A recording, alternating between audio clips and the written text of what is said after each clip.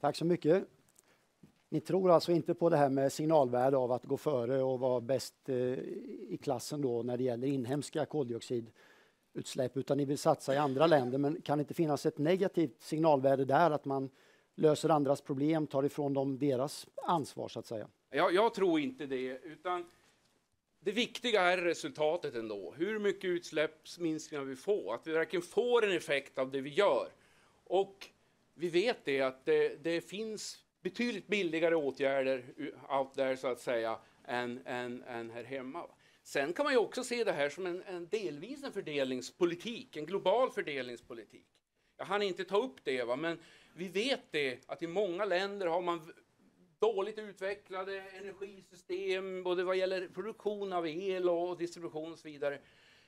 En satsning på ett sådant, till exempel utbyggnad av ett elsystemet i ett u-land, till exempel utvecklingsland, skulle innebära inte bara att vi får en bra klimateffekt till låg kostnader, utan även att vi bidrar till en högre välfärd i landet, i det landet. Och så vill ni skilja på energipolitik och klimatpolitik. Ja. Men när man diskuterar till exempel utbyggd kärnkraft eller investeringar i infrastruktur för elbilar och sådana saker, är det inte vettigt då att klimataspekten finns med?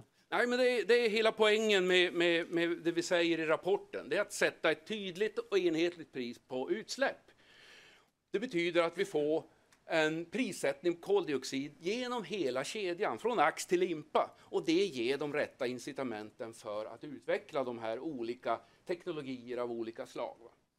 Eh, vi tar ingen ställning för en specifik sorts elproduktion, kärnkraft, vindkraft eller någonting, utan det viktiga som vi ser är att rätt beslut tas, att vi sätter klimatpolitiken rätt, för då tar man rätt beslut. Tack så mycket, Runar Brännlund. Då har det blivit dags för dagens kommentator, som lämpligt nog är finansministern själv. Välkommen och varsågod, Anders Borg.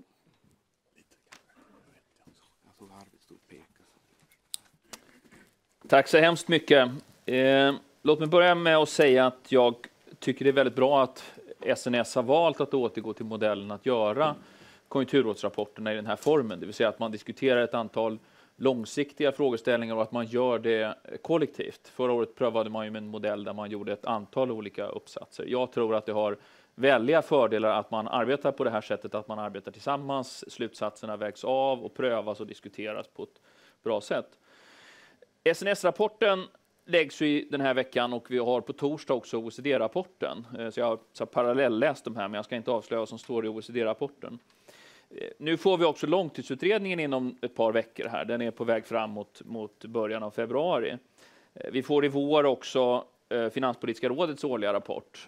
Till det kommer att IMF har så att säga inlett arbetet med att göra en sån här Financial Stability Assessment Process, en FSAP på Sverige. Och till det kommer att vi då gör den här bredare genomgången i den europeiska semestern från EU-kommissionens sida, som vi satte igång igår på Ecofin. Det här betyder att vi får nu en ny bred genomlysning av svensk ekonomi och det är naturligtvis för mig som finansminister väldigt glädjande, därför att det här kommer ge en bild av, så att säga, står sig frågeställningarna eh, som vi långsiktigt har trott är de avgörande. Och det är väl så att säga en huvudslutsats i den här rapporten, om man tittar på slutsatserna, att det ligger ju väldigt i linje med vad den samlade bedömningen av svensk ekonomi. Det finns frågeställningar som man skulle kunna komma tillbaka till kring kunskap och eh, globalisering vid nästa års rapport och sådant. Men det här är så att säga några av de tre mest centrala frågeställningarna för svensk ekonomi. Långsiktiga utmaningar att få fler i arbete, eh, den stora frågan om ett mer robust finansiellt system. Den brukar inte vara med på mina listor av långsiktiga utmaningar. Jag kommer nog säga i fortsättningen att det är en av de allra mest centrala utmaningarna för de kommande åren. Och det tror jag är en av de huvudslutsatser som följer av den här krisen, att nu måste vi så att säga skapa ett mer robust eh, samhälle. Miljöpolitiken, eh, stora utmaningar långsiktigt. Sverige är en del av ett väldigt eh, intensivt och aktivt globalt arbete och jag ska väl säga att jag är väldigt stor utsträckning delar slutsatserna som dras här på alla tre punkterna. Men då ska jag börja säga någonting om arbetsmarknaden, så är det väl ett par saker vi ska konstatera. Den första är att Sverige kommer ur den ekonomiska krisen i ett väldigt eh, gott skick jämfört med övriga industriländer. Eh, jag såg att Nordea reviderade sin prognos idag för, för BNP. Vi har ju inte gjort några prognosrevideringar på i princip sedan budgetpropositionen. Nu ser det väl ut som att vi mot slutet av det här året kanske har en tillväxt på i storleksordningen 6-7 procent. Alltså att den bedömning vi gjorde för så sent som i budgetpropositionen när det gäller tillväxten kommer med mycket stor sannolikhet visa sig ha varit för allt för pessimistisk.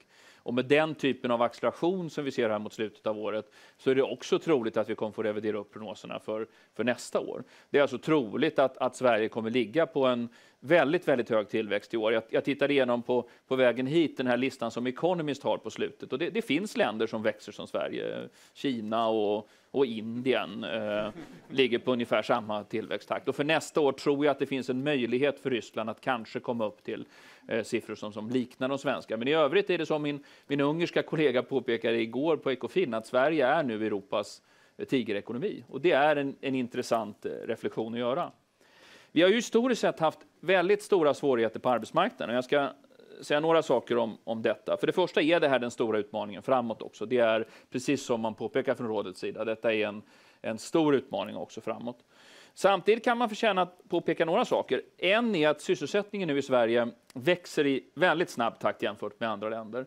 Det här är den samlade sysselsättningen i Sverige och nu ligger vi på en årstakt som ligger på, på nära nog 2% I privat sektor ligger ökningstakten ännu högre.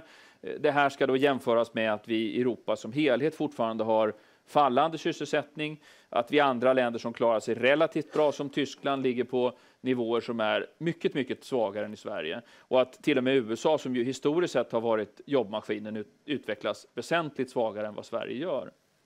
Det här kan jämföras med att vi under åren 2003, 2004 och 2005 hade relativt stark tillväxt i Sverige, väl över 3 procent 4 och 5. Eh, men ändå väldigt svag sysselsättningstillväxt. Det dröjde alltså in i 2006 efter IT-kraschen innan vi i realiteten fick någon nedgång av arbetslösheten eller stigande sysselsättning. Arbetslösheten steg ju hela vägen från 2001 till 2005. Så att det har alltså skett en vändning som är snabbare och kraftigare än vad vi upplevt historiskt. Eh, detta ska dock samtidigt läggas på den bild som vi har. Under lång tid har svensk ekonomi haft stora svårigheter att, att generera sysselsättning. Magnus Henriksson gjorde ju en sån genomgång för några år sedan i en SNS-rapport. Och det kan naturligtvis diskuteras olika bakomliggande orsaker, men det tycks vara så att de nordiska länderna och inklusive Sverige som har eh, den typ av struktur vi har haft väldiga svårigheter att generera sysselsättning, framför allt i privat sektor över, över lång sikt. Möjligtvis är det nu så att, att det här ser lite annorlunda ut. Eh, här kan man dock komma ihåg att eh, detta är samtidigt som vi har ett stort utanförskap. Vår bedömning är ju att vi nu under de närmsta åren får en, en kraftig minskning därför att inflödena i framförallt förtidspensionen har minskat. Vi skulle komma ner mot en 750 000 personer på, som, som är beroende av, på helårsbasis av, av den här typen av stöd.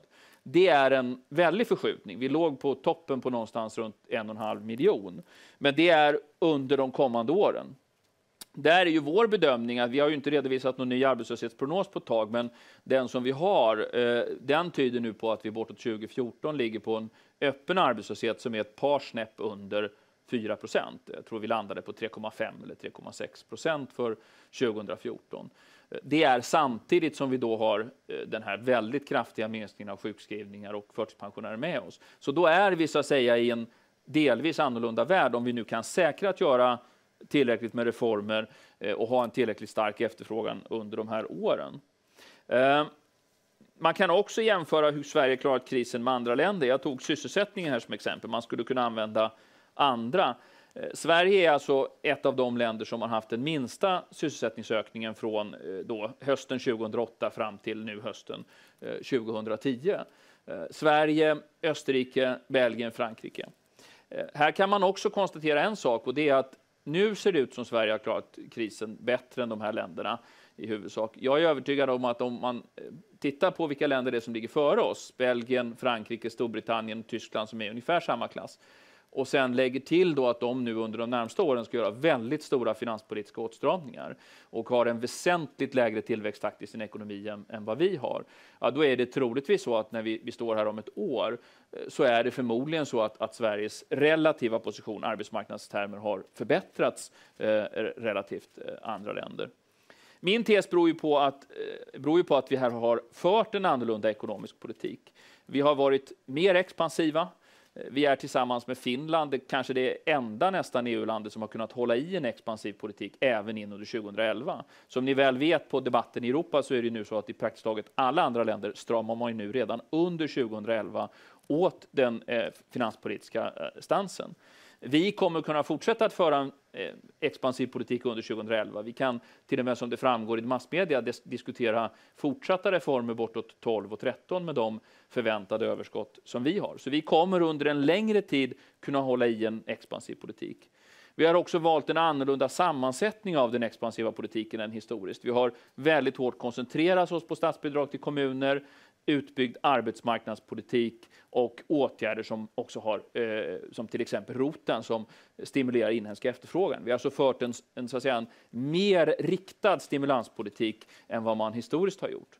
Till det kommer att den har genomförts samtidigt som väldigt breda strukturreformer har, har kommit på plats. Och under 2008 till 2010 så är, är det ingen tvekan om att Sverige är det land i EU-kretsen eller OECD-området som har genomfört mest omfattande eh, strukturreformer. Det, det, det, framgår av nästan alla sådana här sammanställningar som görs av, av EU-kommissionen, OECD och, och, och andra eh, liknande organisationer. Alltså jobbskatteavdrag, förändrad sjukförsäkring, förändrad a-kassa, förändringar av arbetsrätt, förändringar av entreprenörsklimat, förändringar av utbildningssystem. På alla de områdena eh, så är Sverige ett av de länder där, där, där vi har genomfört tydligare. Så kombinationen av keynesiansk efterfrågepolitik inom ramen för en stram ordning och en omfattande strukturåtgärdspolitik. Det gör att vi här får en mix som faktiskt funkar bättre än vad vi historiskt upplevt. Trovärdiga offentliga finanser gör att keynesianism fungerar i kristider, särskilt om den också har en strukturell slagsida. Så att, därmed är ju inte sagt att vi inte har det grundproblem här som, som rådet, eh, eh konjunkturrådet lyfter fram. Vi har jämfört med vad som är möjligt för stort utanförskap och för hög arbetslöshet. Det räcker med att ta, ta, ta fram den här eh, The Economist-sammanställningen och notera att det finns länder som Holland, Österrike, Danmark och Norge som under lång tid har förmått att köra ekonomin utan obalanser på en arbetslöshet på till och med under 4. Och det måste naturligtvis vara utgångspunkten att Sverige ska, när det gäller arbetslöshetsnivå, tillhöra de länder i Europa som har lägst arbetslöshet vår idé, och det är väl det som jag så säga, tycker också rådet fångar, det är att det måste vara en bred strategi. Både att det är förstärkt, en förstärkt arbetslinje och en förstärkt efterfrågan på arbetskraft. Jag noterar här att rådet också argumenterar för sänkta arbetsgivaravgifter eh, riktat till ungdomar, eh, invandrare och äldre. Och det har ju vi genomfört och då kan man påpeka att där är ju nationalekonomerna relativt splittrade. Vi har ett finanspolitiskt råd som faktiskt har ifrågasatt eh, lättnaden för både ungdomar eh, och äldre. Vi har haft samma synpunkt från Institutet för arbetsmarknadsutvärdering och vi fick ju en långtidsutredningsbilaga igår där slutsatsen är densamma, att, att man faktiskt menar på att, att man ifrågasätter dem. Jag delar Konjunkturrådets uppfattning. Eh, av det skälet är så att säga skälet till att vi har gjort detta. Jag tror också att vi här har anledning att fundera igenom det hela. Det har kommit en en väldigt, väldigt intressant uppsats till långtidsutredningen av, av Nils Gottfries eh, som jag tycker lite förskjuter bilden av, av hur svensk arbetsmarknad fungerar. Och där tyngdpunkten av argumentationen läggs precis som hos, hos SNS konjunkturråd på detta med att eh, arbetsmarknadens parter måste fundera igenom eh, lönenivåerna eh, på, på, på, på ingångsjobben. Och vi måste fundera på hur stora skatter ska vi egentligen, och framförallt arbetsgivaravgifter, ska vi lägga på den här typen av grupper som har en svagare ställning på arbetsmarknaden. Så det tycker jag är, i grunden är en reformstrategi som jag tycker vi har anledning att fundera över när så småningom ekonomin eh, så tillåter. När det gäller välfärdsjobben, det här är ju en, så säga det, det är en idé som har diskuterats länge och som jag själv har sedan lång tid tillbaka varit väldigt positiv till. Eh, jag kommer ihåg när vi höll på med krisförhandlingarna på 90-talet. Då reste Allan Larsson den här idén om arbetsföretag och, och, den här typen av jobb som skulle göra att man fick en meningsfull sysselsättning i, i, för människor som inte får plats på arbetsmarknaden eller har en svagare ställning på arbetsmarknaden. Det är i grund och botten en väldigt sympatisk idé därför att arbete är så stor del av en människas liv att, att det är viktigt att hitta former för, för alla att vara på arbetsmarknaden.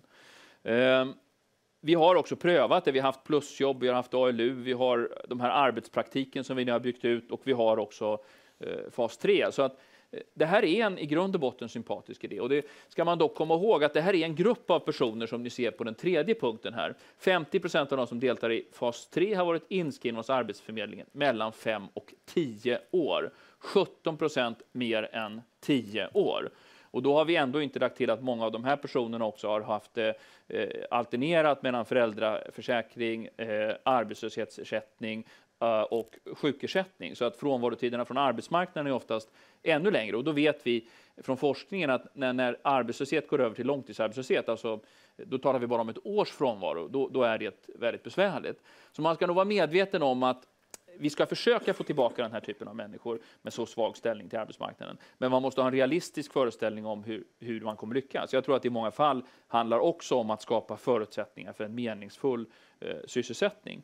Den enda invändningen jag har, och den är väldigt budgetavdelningsk eh, för att vara väldigt rak, Eh, Eh, det är att det här kostar väldigt mycket pengar. Skulle man göra det på det här sättet som vi talar om, eh, hundratusentals personer, eh, då handlar det om väldigt stora belopp. Det, det, det går inte att, så att säga, bortse från notan på det.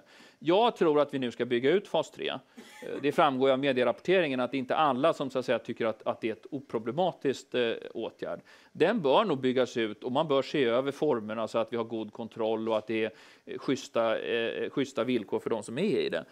Eh, och när vi har gjort det och känner att det här verkligen fungerar väl, då kan man naturligtvis gå vidare med det. Men eh, det är en viktig komponent i en väl fungerande arbetsmarknadspolitik. Det är inte ett universalredskap för att, att förändra eh, för svensk ekonomis eh, funktionssätt. Eh, vi kan, man kan till exempel hänvisa till Anders Forslunds utmärkta genomgång av effekterna av arbetsmarknadspolitik till, till långtidsutredningen som kom här strax före jul. Alltså det finns undanträngningseffekter, det finns problem med hur det här påverkar sökbeteenden och annat eh, som gör att, att eh, det, det, man måste också se att det finns begränsningar i den. Gärna mer, men det måste byggas ut i en takt som vi klarar av och då handlar det om att i första hand göra det via att, att fas, fas 3 blir, kommer att fungera bättre på sikt. Jag kommer hävda då att det är en avgörande sak här i, eh, är att förstärka arbetslinjen ytterligare.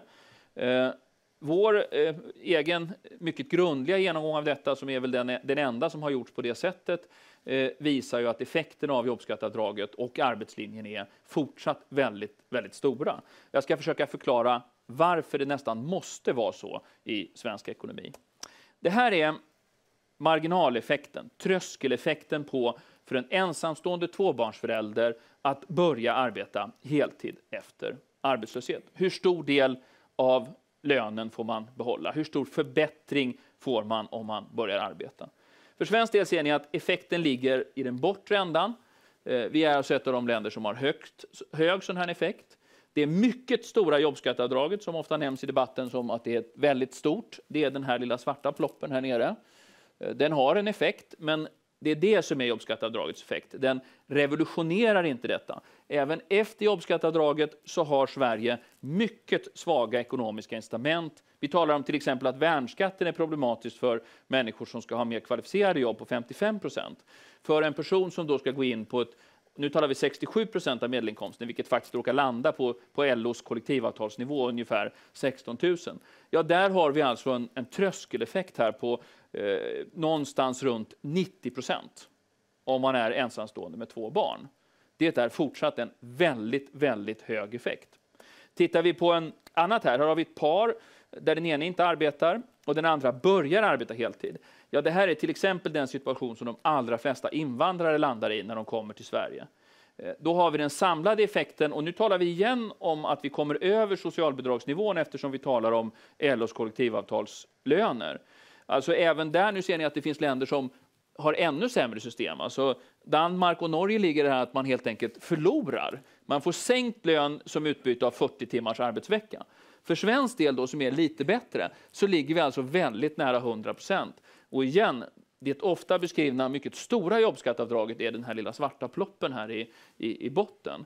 Alltså när man ligger på den högre delen av Eh, skalan bland OECD-länderna när man har låg ersättning. När den är så extremt hög som den blir i samlad effekt här, ja, då talar det för att marginaleffekten av att göra ytterligare justeringar fortsatt är väldigt hög.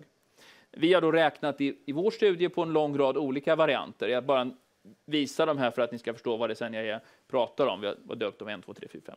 Den här ska jag nu visa hur, hur avkastningen på att, att sänka det breda, långa flaket är för för, alltså lön, skattesatsen för normala låg, låg och medelinkomsttagare.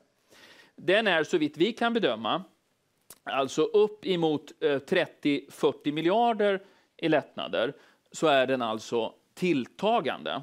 Den avtar någonstans mellan 40 och 50 miljarder. Är det här resonemanget intuitivt riktigt? Ja, alltså tänker att vi genomför den här typen av rätt stora inkomstskattesänkningar på, på lång sikt. Det kommer naturligtvis ta långt efter att jag har lämnat politiken och har helt andra arbetsuppgifter. Eh, ja, då är Sverige kanske på väg ner mot ett genomsnittligt OECD-skattetryck. Och det är nog troligt att effekterna av att sänka inkomstskatterna, så länge man ligger väsentligt över det genomsnittliga skattetrycket, är relativt betydande därför att vi vet att skatter, framförallt skatter på låg och medelinkomsttagare, har relativt stora negativa störeffekter. Eh, och, och, det är väl det också det man ska, ska lägga till här. Det är ju viktigt att komma ihåg. Alltså jag tror att Sverige har flera skatteutmaningar. En är att, att höja brytpunkten. Det är naturligtvis väldigt besvärligt att vi nu allt mer sticker ut för, för, höga, för, för högutbildade. Människor med längre utbildningar relativt andra länder är hårt beskattade i Sverige. Men så länge vi vill ha en välfärdsstat, och det tror jag vi vill, då vill vi alltså ha relativt omfattande trygghetssystem. Då tror jag att det i den modellen måste finnas ett starkt ben av låga skatter för låg och medelinkomsttagare. Jobbskatteavdraget är det mest logiska komplementet till välfärdsstaten man kan tänka sig. Om vi tror att det är en avvägning mellan trygghet och incitament, mellan trygghet och drivkrafter, då är det väldigt logiskt att ett land som vill ha väl utbyggda trygghetssystem, eh, trygghet på arbetsmarknaden och allt vad det innebär, också har starka drivkrafter för de som annars riskerar att emigrera ut i, i, i olika bidragssystem. Alltså människor som har tunga yrken, hierarkiska arbetsorganisationer, som inte har en lönekarriär, som inte kan leva för sitt arbete. För de människorna är det särskilt viktigt att skatterna är låga. Och Det är därför jobbskatteavdraget på många sätt, egentligen borde man ha tänkt på det redan när man började konstruera så att säga, välfärdsstaten, att vi borde ha sett till att beskattningen på, på låga inkomster var väldigt låg. Och Det tror jag är fortsatt en slutsats som för min del, både intuitivt och utifrån bred ekonomisk teori, stämmer. Sen ska vi naturligtvis också fortsätta med utbildningspremien. Och sen låt mig understryka, ingenting ska göras innan allting är i ordning offentligfinansiellt. Det finns ingen slutsats som följer av krisen att man ska fästa mindre vikt vid starka offentliga finanser. Det tillkommande ämnet för den fortsatta diskussionen, och det här är ett tillkommande ämne. Tidigare har vi sagt demografi, globalisering, arbete som de stora utmaningarna. Nu måste vi på den listan, listan sätta upp finansiell stabilitet. Jag delar inte på den här punkten rådets beskrivning av läget eh, för svensk del. Det var så att Sverige var mycket illa ute. Det fanns timmar under juni 2009 eh, där Sverige var, hade passerat kanten. När G7-länderna inte var beredda att göra det som var nödvändigt för att hålla Lettland i ordning och då hade åtminstone två svenska banker eh, förmodligen gått över styr. Detta har inte jag berättat i något offentligt sammanhang tidigare och jag ska inte redogöra allt för mycket för det heller. Men inför Europeiska rådet eh, sommaren 2009 så fanns det en situation där G7-länderna inte var beredda att gå vidare med Lettland med mindre än att IMF sa ja till detta. Då stod vi i ett förlopp av någonstans runt 6-7 timmar som inte så att säga, i, någon, i allmänheten kände till. Eh, där, Sverige, där, där, detta var, eh, jag tror inte ens letterna kände till om jag ska vara helt ärlig, eh, därför att det var Sverige som var aktör snarare än, än Lettland i den kretsen eftersom vi var inkommande EU-ordförande. praktiken på grund av det tjeckiska ordförandeskapet var vi ju i EU, Ekofinrådsordförande vid den tidpunkten. Så att det, Sverige var mycket, mycket, mycket, mycket illa ute. Ha inget tvivel om detta. Vi var i praktiken över kanten. Det här måste vi dra slutsatser av. Det får inte hända igen. Det får inte vara så att vi säger att vi såg det här hända, vi lyckades rädda situationen och det blev ingen kris, så därför ska vi inte dra några slutsatser. Den andra slutsatsen som följer för mig, eftersom jag tillbringar så mycket av min tid i det här internationella, senast igår på Ekofin, det är att de internationella obalanserna är värre idag. Inte mindre. Värre idag än vad de var före krisen. Därför att nästa gång vi går in i en lågkonjunktur så går vi in med mycket högre offentlig skuldsättning. Alltså beredskapen och förmågan att hantera den här typen av problem är större idag än, är sämre idag än vad den var för, före krisen. Så att till det kommer sen de här svenska obalansfrågeställningarna och de, och de måste vi också, också diskutera.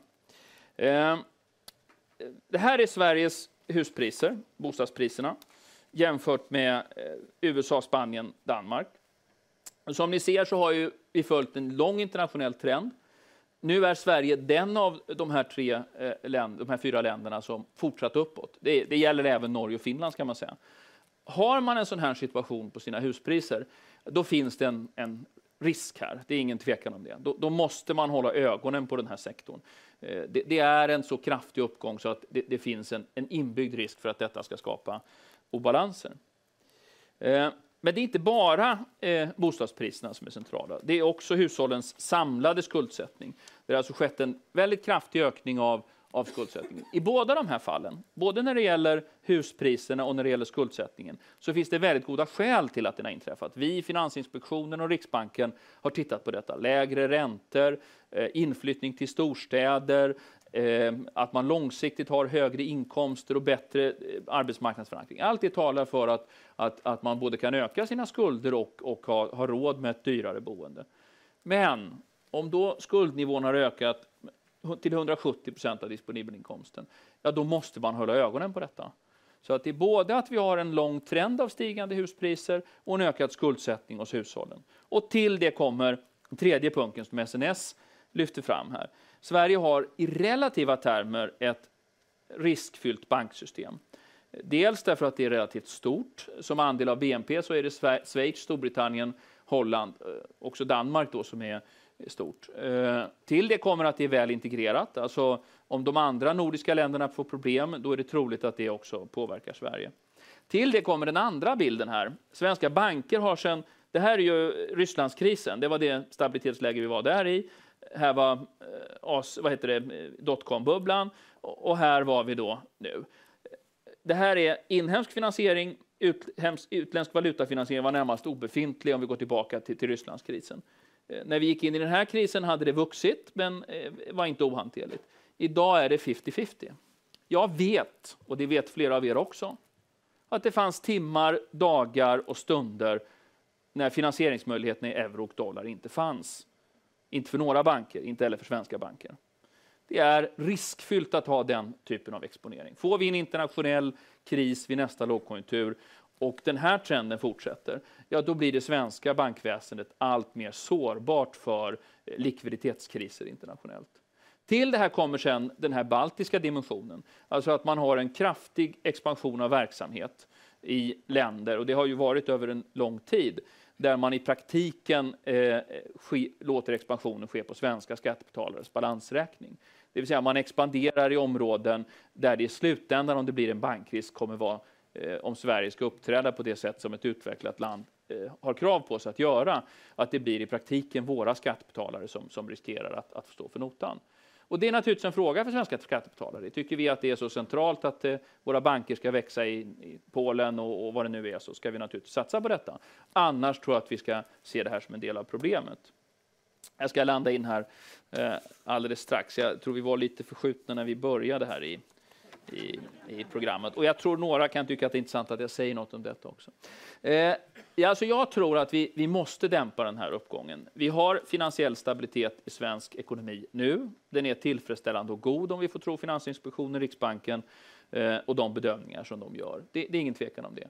Men det här är en allvarlig risk. Blickar vi tre, fyra år framåt och om vi tänker oss att vi lever i en mer turbulent, mer obalanserad värld, ja, då finns det risker här. När man väl har landat i slutsatsen att man inte har finansiell stabilitet, då gäller bara krisåtgärder. Då är det drastiska och besvärliga val som man ställs inför. Så man ska agera i förväg. Här måste man vara förebyggande. Vi har gjort en del saker. Riksbanken har höjt räntan. Eh, det har kommit eh, råd om bolånetak. Eh, bankföreningen har öppnat nu för amorteringskrav. Riksbanken har ju nämnt ett antal frågeställningar. Kassakrav tycker jag man absolut kan fundera på därför att det är naturligtvis så att alla de här kriserna i grund och botten till förstone blir en likviditetskris. Kapitaltäckning. Schweizarna har valt att höja sin kapitaltäckning väldigt kraftigt. Jag tror de lägger på i storleksordningen 3% extra därför att de anser att deras banker är systemviktiga. Våra fyra bank, stora banker är naturligtvis systemviktiga. Så det är naturligtvis en fråga som vi måste väga av. Ska vi säga att det inte räcker med Baselreglerna, för det, de är bra, men jag tror inte att de, de räcker, utan eh, det kan finnas skäl att överväga att skärpa dem. Vi har diskussioner kring ränteavdrag och, och, och amorteringar. Och, och, där är ju min syn att vi ska inte stänga några dörrar här, utan nu ska vi arbeta oss igenom de här olika delarna. För det är klart att de här olika instrumenten har olika effekter. Väljer vi att låta räntevapnet till exempel bära huvuddelen av detta, ja då kommer det betyda att kronan stärks och att det är exportindustrin som får ta anpassningen. Väljer vi att, att lägga det på amorteringskrav och ränteavdrag så är det hushållen. Lägger vi det på höjd kapitaltäckning är det troligtvis att det är utlåningen till företag som, som pressas. Så att det, det här måste man arbeta igenom, man måste fundera på hur en, en, en, vilka åtgärder som är rimliga både ur ekonomisk och politisk mening. Det är ingen tvekan om att vi är i ett läge där vi måste fundera igenom detta och att vi har än så länge god tid på oss att göra det. Vidtar vi åtgärder under 11, 12 och 13 eh, så har vi relativt goda förutsättningar att säkra att svenskt banksystem är i, i bättre skick vid, vid nästa lågkonjunktur. Ehm, nu hade jag en viktigt budskap också om riskerna för offentliga finanser kring detta som jag bara vill nämna kort. Alltså, det som är specifikt med bankkriser och som man inte får tappa bort i den här diskussionen, det är att det kan leda till väldiga explosioner av offentlig skuldsättning. Skälet till det är att man tar över dåliga banktillgångar till marknadspris och sen sjunker de i värde och då gör man stora förluster. Man tar över banker utan, och kompenserar i värsta fall aktieägarna och i annat fall så gör man det för ett skede där aktiekursen är artificiellt hög därför att problemen inte är så att säga korrekt prissatta. Den svenska modellen är ju rätt unik här. Eh, jag delar inte slutsatsen att vi behöver en bättre konkursinstrument. Eh, det jag tycker vi kan se från hanteringen av Kaupting och eh, för den delen nu de andra institutionerna, det är att vår ordning att man får gå till Riksbanken, få nödlån, få pantsätta de tillgångar man har och om man, inte är på, om man då inte är i, i god ordning får överföras och systemviktig får överföras till Riksgäldskontoret. Det har gjort att vi har kunnat hantera alla de här situationerna utan finansiell instabilitet. Men det som sen kommer, vilket är det unika, utan att det har belastat skattebetalarna. I nästan alla andra sätt att göra detta, till exempel att bygga, skapa en offentlig administration för konkursbanker där man tar över bankerna, låter ägarna behålla dem och sen lämna tillbaks dem. Ja, då har det den egenheten att man får samma stabilitetseffekt men man räddar aktieägarna möjligtvis på skattebetalarnas bekostnad. Och det är inte jag beredd att argumentera för en sån ordning, utan det här måste vara utgångspunkten. Finansinspektion, Riksbank och andra kan ha som utgångspunkt att bara diskutera finansiell stabilitet. Då landar man i en typ av slutsatser. Jag måste tillföra den här bilden. Vi måste beakta offentligfinansiella effekter. Risktagande med offentliga finanser i det här sammanhanget handlar alltså om, och det, det, det är inte så att Island och Irland är unika. Vi kunde ha använt ett, ett, stort antal andra länder som har dragit på sig väldiga skuldökningar. I Storbritannien och Tyskland och för den delen många utvecklingsländer. Eh, låt mig då bara kort säga någonting om klimatet också. Eh, eh det blir, egentligen hade jag tänkt säga lite mer här, men eh, blev väl lite carried away där kring, kring bankerna. Eh, Konjunkturrådets slutsatser är väldigt rimliga. Sverige gör mycket, vi har varit framgångsrika eh, och vi är ett av de länder som, som klarar sig bäst i detta. Så ser man på till exempel utsläppen per tusen invånare, vi, här hade vi per tusen BNP, det, det, är ungefär samma slutsatser. Sverige, Schweiz och ett antal andra länder har, har gjort en koldioxidomställning. Mycket tack vare kärnkraftsutbyggnaden och vattenkraftsutbyggnaden. Det är så att säga avgörande faktorer. Men också därför att vi har då satsat på styrinstrument. Vi har i särklass, det är bara ett eller två länder till som har en koldioxidskatt och den ligger då oftast någonstans här nere. Så beskattningen av koldioxid i Sverige är väsentligt högre än i andra länder. Eh, detta gör ju inte att man inte kan hålla med om de slutsatser som rådet drar. Jag ska inte göra så att säga, partipolitiska utspel, utan vi ska naturligtvis arbeta oss igenom detta i regeringen noggrant innan man drar slutsatser. Men två punkter som, som eh, eh man pekar på här. Dels nyttjandet av, av, av de internationella koldioxidåtgärderna. Det är självklart viktigt. Vi, vi, vi, har ju lagt in det och gör, gör, en tung del där. Det får man naturligtvis fundera på om det här att vi har sagt att bara en tredjedel ska göras via den typen av mekanismer. Det, det är en sak man måste ha beredskap att titta på. Vi har ju, eh, det är ju tack vare, nu ska jag säga, det är ingen slump, det är ju för att Ingmar Hansson så att säga, var den som höll i den här frågan och, och eh, det har kanske inte miljörörelsen riktigt insett, men det är väl Ingmar som är en av de som har gjort störst koldioxidinsatser under de sista tio åren genom att vi ändrade de här stora undantagen från koldioxidskatten. Och de trappas nu av fram till 2015 från eh, 30 procent upp till, till, till 60 procent. Det kan man naturligtvis gå vidare med. Eh, det har vi inga beslut om och det måste vi naturligtvis pröva i god ordning. Men, men det är ju en, eh, fortsätter ju vara en, en väldigt effektiv väg att, att minska koldioxidutsläppen. Så att jag tycker det ligger mycket i slutsatserna. Sverige ska föra en aktiv koldioxidpolitik och den ska bygga på, på rationella och rimliga åtgärder. Där sätter jag punkt. Tack så mycket Anders Borg. Eh, vi har en liten rokad här så du får ansluta till Konjunkturrådet så ställer jag mig här. Eh, Sverige är Europas tigerekonomi, sa du. Det är en bra rubrik, men eh, när man tänker på hur det gick för den förra tigerekonomin, du visade den irländska skuldsättningen där. Eh, det finns ingen anledning till nervositet just av detta skäl, så att säga, att, eh, att vi bäddar för nästa kris. Jo, det, det är ju därför slutsatsen måste vara att vi aktivt fortsätter att reformera Sverige, både när det gäller eh, arbetsmarknad, företagsamhet och kunskap för att förstärka tillväxtpotentialen det vi nu ser är både så att säga, effekten av en återhämtning och strukturreformer och för den delen att vi tar de här stabilitetshoten på väsentligt större allvar än vad man gjorde på Island och Irland. Det är, där, det är därför vi så att säga, på listan av ekonomisk-politiska utmaningar efter krisen måste sätta upp en ny och den är att skapa en större robusthet i svensk ekonomi kring, kring eh, internationella finansiella kriser. Och du målade en dramatisk bild av läget då i juni 2009, att det var timmar ifrån eh, att svenska banker eh, fallerade. Delar du helt där eh, rapportförfattarnas syn på det här, att det behövs mer ökning av kapitalkrav på bankerna än, än, vad som finns i Basel 3 till exempel, men att hedgefonder och så, att det inte är relevant där, att man inte behöver röra bonusar och så vidare. Är det din bild också?